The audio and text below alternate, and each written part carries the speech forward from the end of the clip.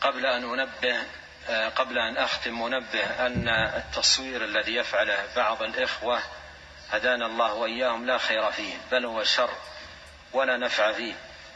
وهو يذهب البركة في مجالس العلم ويحرم من الخير.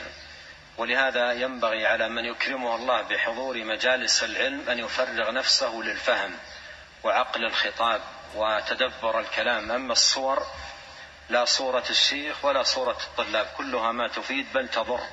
وإنما الذي ينفع العلم نفسه. كلام الله وكلام رسوله عليه الصلاة والسلام والتفقه في الدين. ولهذا الذي يصور عليه أن يمحو الصور وأن يبقي العلم في قلبه ينتفع به ويستفيد.